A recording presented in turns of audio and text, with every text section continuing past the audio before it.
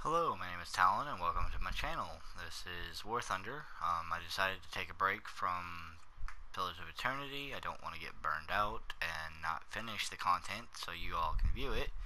Uh, War Thunder is one of my more favorite games to play. I have about 2,500 hours on the PC with it and thought, hey, maybe I could install it on the PS4 and start completely over. Because I like uh, I like punishing myself, I guess. Uh, that's not true. I I love War Thunder. It is a great war game, great shooter. The biggest issue I have with it is how much of a grind it is, and now that I've grinded so much on my PC, just to have to start over is a bit aggravating, but I cannot for the life of me figure out how to update or I guess um bring my PC account onto the PS4, but it's completely alright.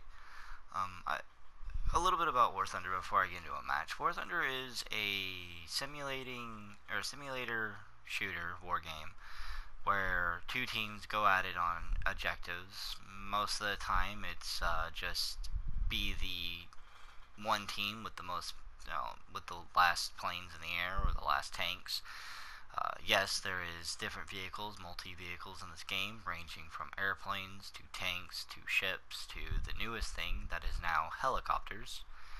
Uh, all the way ranging from pre-war, which is the end of World War One, all the way to Korean and now you can actually say modernized weaponry. Um, well, sort of modern. Like the Americans and the Russians have their most up-to-date, well, almost up-to-date vehicles. The tanks, uh, the Americans get the M1 Abrams, and the Russians get the T-80. They do also get the uh, helicopters that we still use today, such as the AH-1Z Zulu Cobra, and the Russians get the Hind, but uh, I'm nowhere near getting those, so I'm not even going to show them off unless you all actually request it. I will be playing Air Arcade only for the fact that I am very, very low. Um, I'm just starting as the Americans on this uh, on this account. Um, I'm choosing the Americans for two reasons. No, it's not because I'm American, so I have to, you know, show my pride. In fact, if I was actually going to do that, I would choose Britain. Britain is my top favorite country to play. Um, yes, there are uh, all the countries of the World War. You have Germany, Rus Russia, uh, U.S., Britain, Japan, Italy, and France. Each has their own unique uh, tech trees, and each has their own unique playstyles. America is one of my favorite playstyles. I am really not the greatest at it. I am trying my hardest to get back into learning how to fly American planes. The American planes are just beautiful to me. Um, some are just kind of clunky, especially the little pea shooters for the end of World War One. But the American planes are very beautiful to me. They also have the well, in my opinion, they have the most universal armament. You either have the um, you either using a 30 caliber machine gun or you're using the 50 cal machine guns. Um, yeah, there's a couple of airplanes here and there that do get 20 millimeter cannons. Uh, those are very, very powerful. I love using them, but most of the World War II aircraft use the Browning 50 cals. You don't have to worry about a lot of bullet drop. You don't have to worry about running out of ammo because you're using these big caliber rounds. You're just using 50s. And you know that a 50 is going to whittle away shred through any aircraft that it's pointed at. Same can be said about the 30 cals, just uh, they're a little bit slower, but yeah. The other, I already said it, but the other reason is I love the way they fly. They are very uh, boom and zoom, which they use energy fighting to their advantage, meaning they will collect as much energy as possible, get high, high altitudes, zoom down like a uh, the way I like to picture it. It's eagle swooping. um, you climb way, way, way up, zoom down at a target, shoot, if you hit or miss, you don't really continue to turn and burn or dogfight with the target. You pull up, extend away from the target, loop around, and do the same thing until the aircraft is, or the enemy is destroyed. Um, unfortunately, the uh, American aircraft excel at uh, team tactics. Um, I am not in a squadron at the moment. I do have a buddy of mine who plays. He's just not on at the moment. Uh, maybe later on I'll see about getting a couple of videos of me and him working together. We do really well together, especially in realistic battles where in realistic ARB you you only get one aircraft, one life, meaning you have to make sure that you use that uh, life to the best of your advantage, just like you would in real life, obviously. Um, if your airplane gets destroyed, you're out of the match. Alright, enough of me talking. I can talk hours about this game. Let's get into a game. Alright, let's see. We're going to use stealth rounds and stealth rounds. Um, the reason why is the ammo belt, the ammo uh, placement is ones that I actually prefer. Um, the other reason why I use stealth rounds is for the fact that I can shoot at a target and they won't see it coming. So I can shoot at an enemy airplane or an enemy uh, player and he won't know what direction to evade in because he can't see my tracers. So this is Air Arcade. The objective is Siphon, so we have to go, or well, ground, uh, ground strike. So we have to actually target. I'm gonna go after this guy. We have to target uh, enemy ships, which are landing craft and armored cars, and blow them up. Uh, in Air Arcade, airplanes don't really act realistic. I can make some maneuvers that I shouldn't be able to without having energy or inertia. Um, you'll probably see here in just a few minutes. It is very fast paced as well. As soon as I get... Uh, nope, bad target, bad angle. Let's go back up. And loop around. This Nimrod's trying to get me I'm not going to let him go. Alright, let's loop up again. Alright, well, it is arcade, so I don't have to, a lot of... Dang. Let's go save this guy. War cookies. And he's gone. Oop. Oh, he crashed right into it. Well, not my fault. I went and saved him, and he crashed right into the into the uh, remains of the airplane.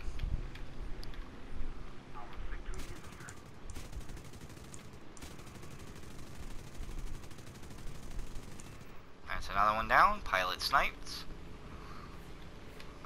See if I can get this guy.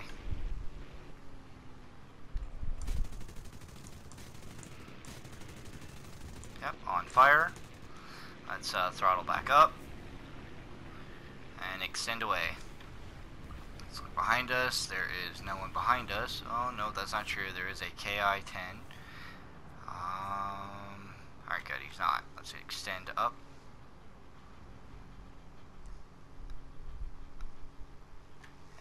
loop over. Um, uh, so if you're curious as to how I'm playing, I am playing mouse and keyboard. Um, it's the only way that I would uh, would play this game. I have tried playing it on the PS4 controller. It is incredibly difficult to fly. I can I cannot fly with a uh, controller. If others can, more power to them because I cannot. I have had to hook up my controller or my mouse and keyboard to my PS4 just to be able to play it. So let's see if I can get this guy. Alright. Um, in our Air Arcade, whoa, whoa, whoa, go up, go up, up, up, up. In Air Arcade, obviously, besides the, oh, bad, bad, bad. Yep, he's gonna get me. Yep, he got my engine. Gosh darn it.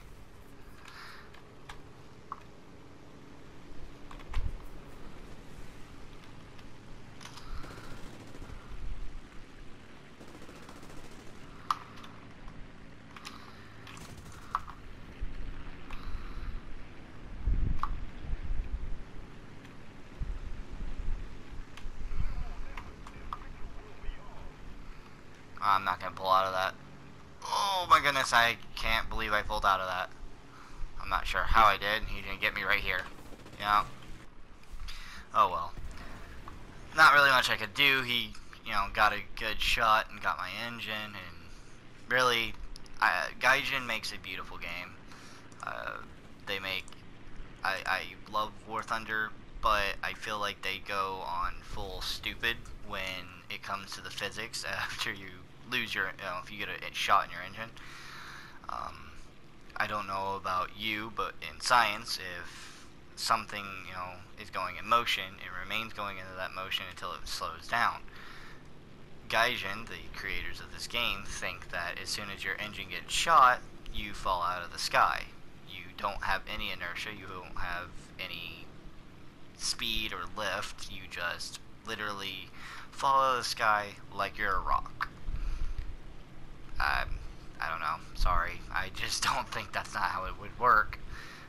I've gotten pretty um, salty and quite a bit of matches because a stray round hit my, you know, hit my engine and I just fall out of the sky when I know I could have. I know I could have been able to pull out, land, do a lot of other things. I'm sure if I was Eh, more into the key bindings, I could probably set up key bindings to feather my prop and some other things, but that's just a lot of work. He's just gonna do some weird little aileron roll. Uh, let's go up, up, up, up, up, and rudder. Kick my rudder. Back down. I foobarred that. um, airplanes fly really weird. Um, this aircraft does have two 30 cals, if you can't hear it. I love this. I don't really love this aircraft, but... Okay, there's way too many blues. Too many blueberries. that's another thing about um, realistic battles that are not real that I do like. I like realistic battles for the fact that we don't have this. We don't have the swarm tactics. um, I get it. It's air arcade. People want to get kills. If you get kills, you gain uh, money and research points. Research points gives you the chance to obviously get new vehicles. That's one.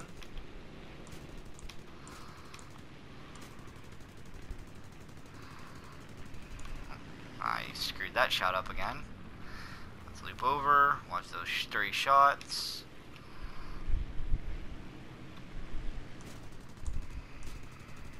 Oh, there we go, got his tail, reload in air, flip over, watch this guy. Oh, I got another one on me. And we're gonna get this KI-10.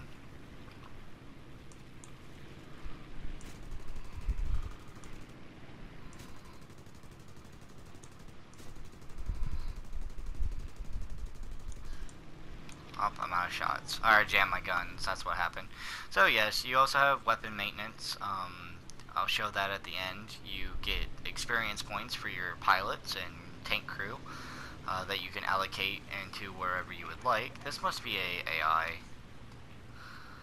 Yeah, he must be an AI, which uh, is a bit embarrassing that I can't kill this guy really easily since he is an AI. But well, oh. Really? Okay, well. And that's another thing that happens in um, Arcade. People collide in you. I'm sure he probably tried to avoid it. I'm not going to be too upset about it. I did kind of slow down to a crawl, making those weird, uh, weird maneuvers I shouldn't be making. We're about to win. We just have to blow up one more armored car, which is, well, was right there. There we go.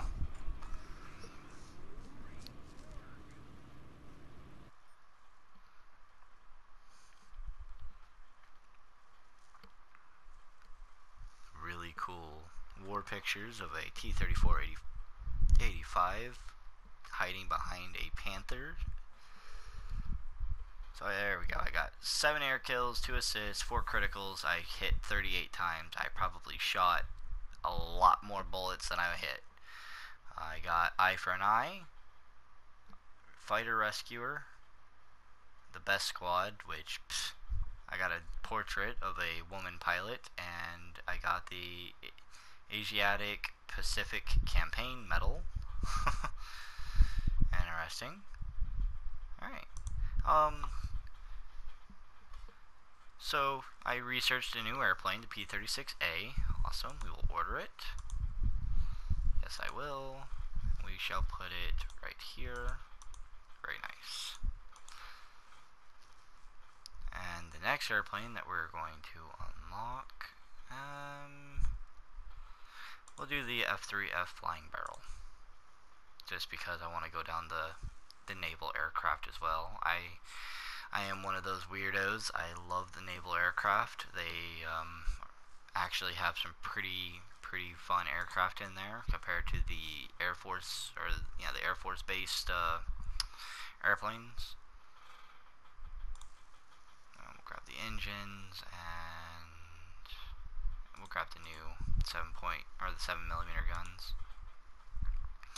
Alright, so before I end, I will show what I'm talking about. So you can go to crew and in crew, you actually get points, crew experience points. I have 53 of them that I can put anywhere in uh, this. We have keen vision, awareness, G tolerance, stamina, and vitality. Uh, keen vision obviously allows the uh, visual range of where you can spot enemy airplanes. awareness is uh, the detection radius on your radar map. Kind of weird, but it helps. G tolerance is exactly what it says. Uh, the tolerance of G uh, maneuvers. If you take a know, too sharp of a turn, a dive, or you know, a climb, uh, your pilot can and will black out. And if you pull too much of a G turn, you can kill your pilot, like outright. Uh, stamina is exactly the same thing. It also helps with um, um, G tolerance decay. So if you do black out, stamina will help you wake up faster. And vitality is how much hit points your pilot has, how many you know shots you can take. It doesn't really help too too much. Uh, Gaijin does like to try and be realistic. You know, a 30 millimeter round pierces through your canopy and hits your pilot. You're gonna be tomato paste. Sorry. Um, defensive armament is mostly for bombers. It tells you how many experienced gunners that you have. You can purchase more. Their accuracy, their precision, and the tolerance, stamina, and vitality of the gunners as well. Logistics, logistical services is exactly that. You can repair uh, your aircraft. So you can actually pay with my money. I can pay to just have the vehicles repaired. Most of the time, that's what people do. Or you can wait a certain time and it will repair on its own, depending on your crew skill. Reload speed is for arcade only. It's, uh, well, no, it can be on for uh, realistic as well, but reload speed is how fast it takes for your weapons to reload, either in the air or if you land on the ground. And weapon maintenance is how fast your guns will jam. Well, won't jam, I guess. I'm to go back to pilot. And the first thing that I like to do is I like having G tolerance and keen vision. Um, we'll do the last points in awareness. Uh, I like having these three up just because I like being able to spot targets far away. I like being able to know what's around me. And I don't want to pass out if I make these really silly turns. Um, well, there we go. That would be my first video of War Thunder. Um, I hope you enjoyed it, and because I will probably be making a couple more videos on it. And if you did, please let me know in the comments down below, and like and subscribe to Bye.